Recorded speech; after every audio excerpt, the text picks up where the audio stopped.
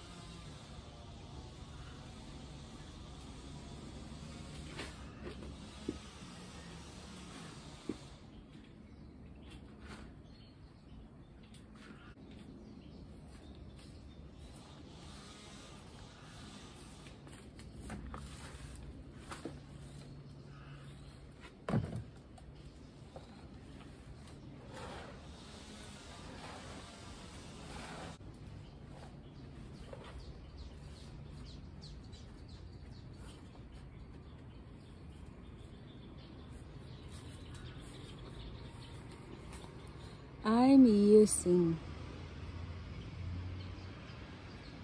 that um, with the stand. It's not really a planter. Ginagamit yan o ng mga bata pag naglalaro. So nilalagyan kayo ng tubig kung nag-water play. Kasama yung mga balde-balde. Kung hindi naman, there are Fridays na ang laman yan ay buhangin sand. So ngayon gagawin ko, tataniman ko ng mga green onions.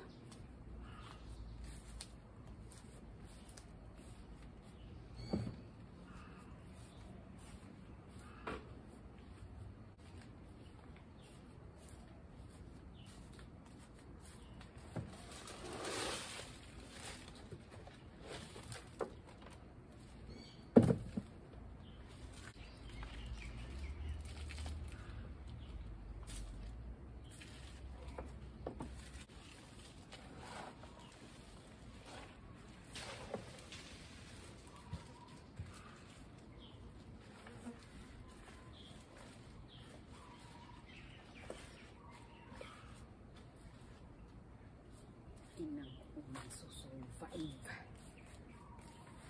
Ito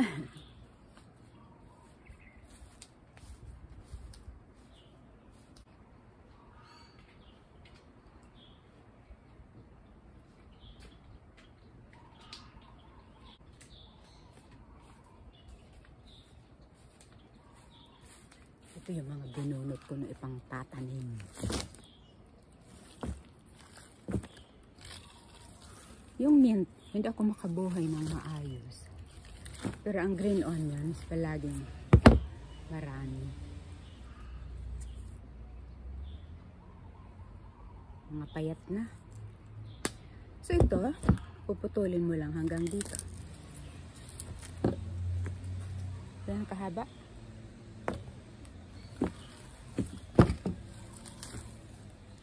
Alisin yung matatanda na.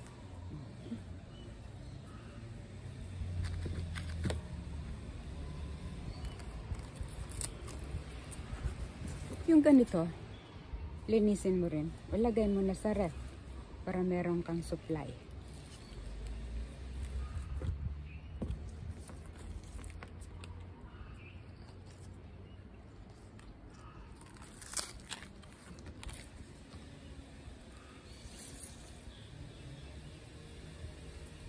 Yep. Yung green onions, merong malalaki, merong maliliit. Ano pa tawag sa maliliit? Kalimutan ko. Malilimutin na ako. Scallion yung malalaki. Parang yung scallion, yung galing yun sa pag nagdahon ng itinanim mo sibuyas. Yung kalalaki ang dahon ng scallion. Lit naman ito, tapong ko na. Gandang seedling. Liit. Okay. Kailan din ako. Madami din.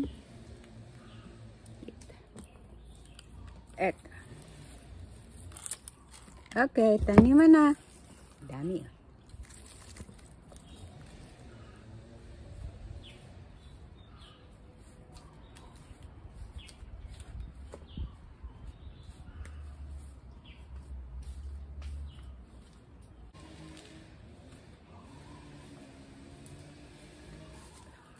Gumagamit ako ng gloves kasi may allergy ako.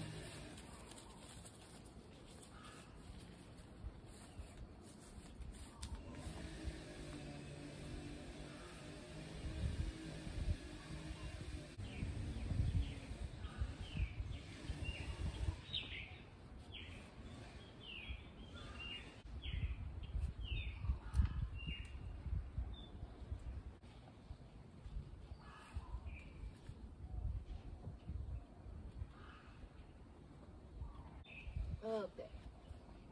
오케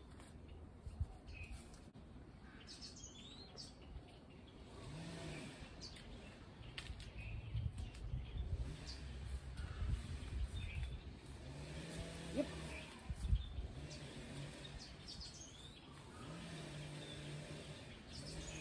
okay.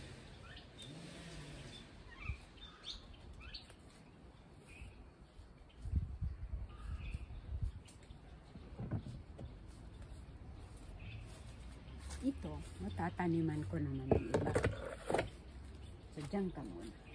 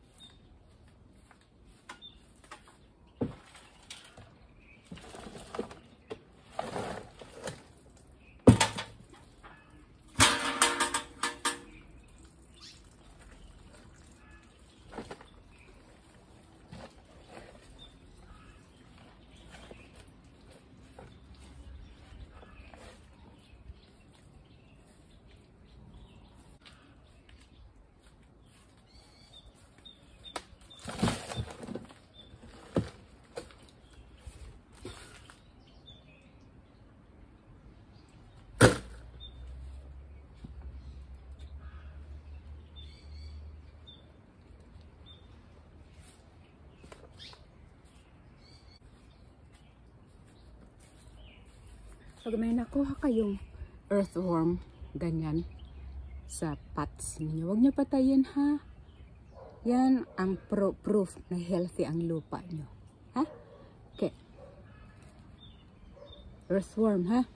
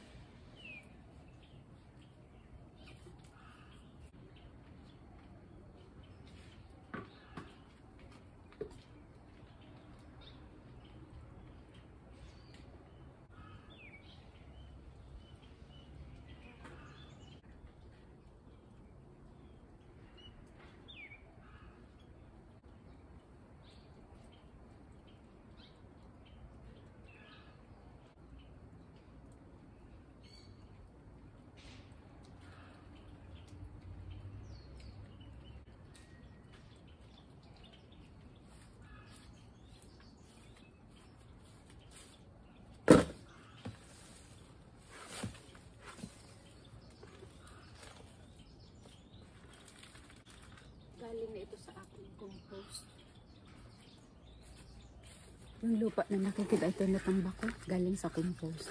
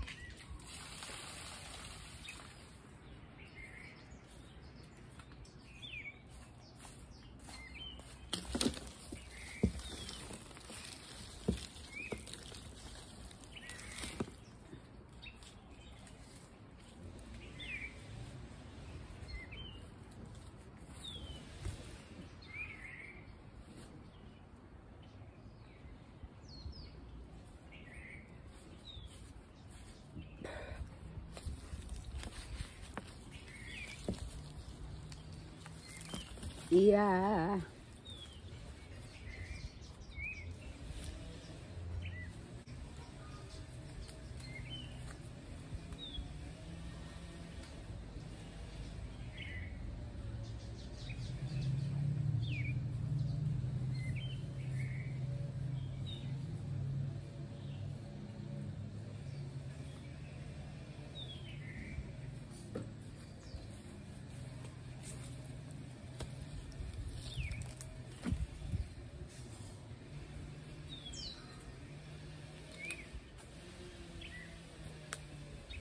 Dito, dito kumukuha ng pangtanim.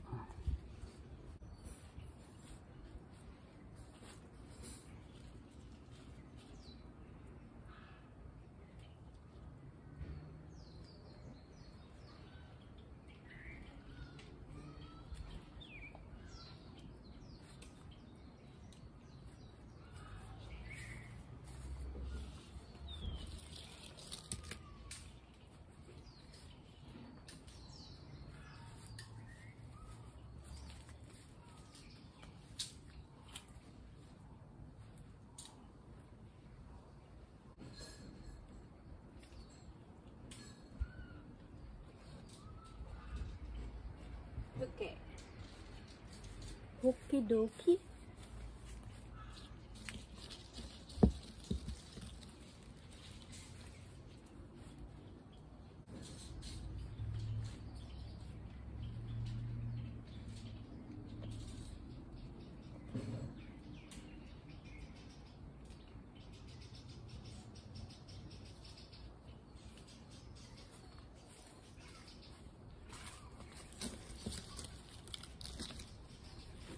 Ang mint, hindi ko alam kung saan ko itatanim.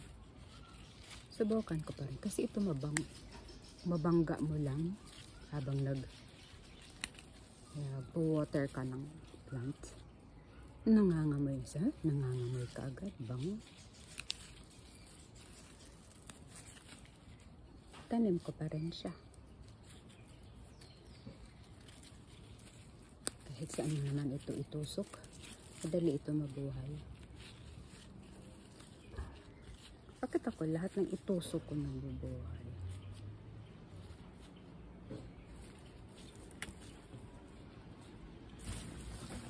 Ay, may naiwan. Oh.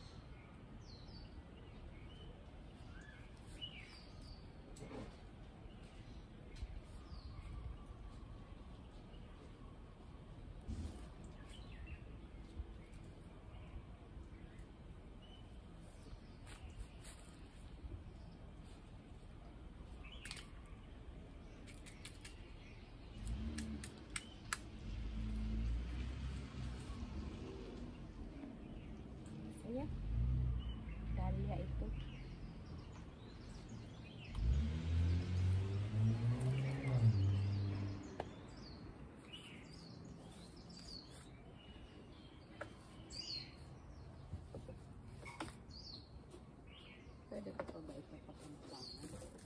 Pwede pa ito.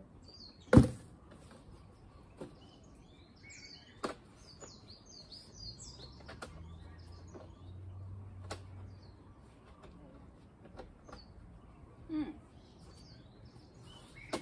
Diyan ka lang. At ako ay nakatapos na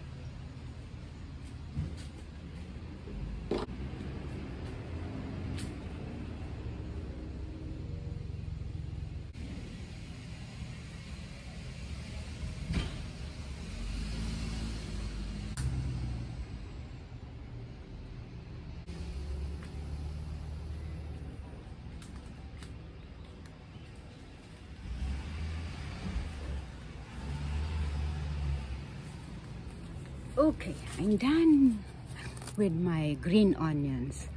Next time, Tita Neil's here, Babu. So, this is now how it looks after I fix it.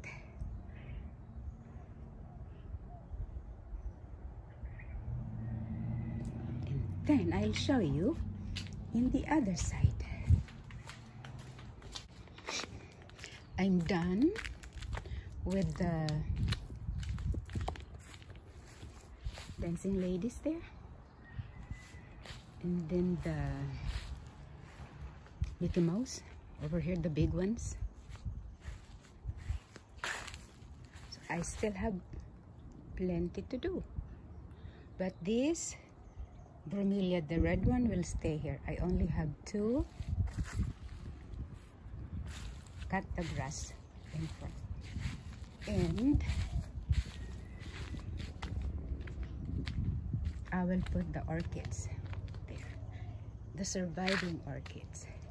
But after the the tenting we have a big destruction. The victim of the tenting. Oh this is the the newly planted green onions. Beautiful. I still have to water it the small the, the seedlings of Mickey Mouse here. I will fix it tomorrow. I don't know what to put it but this is the victim of the tenting.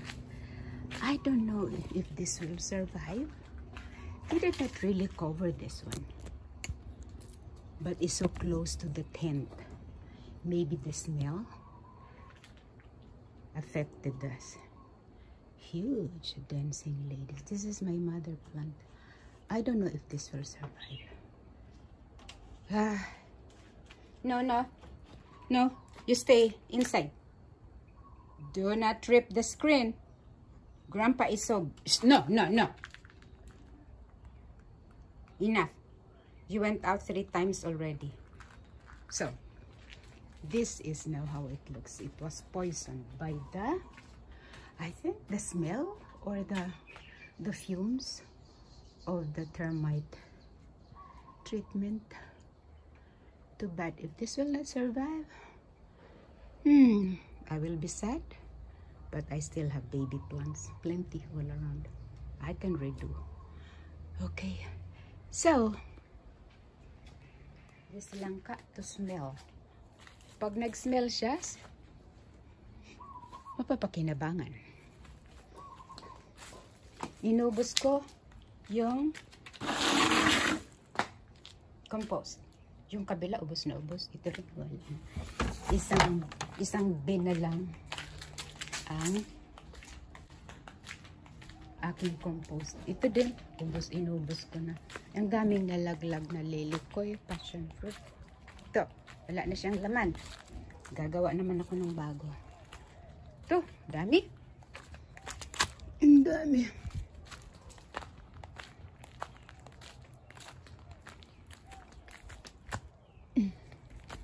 Dami.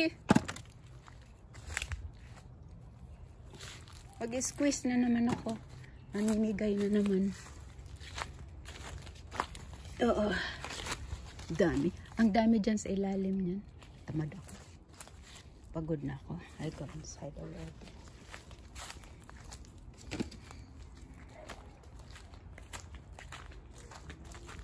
Last.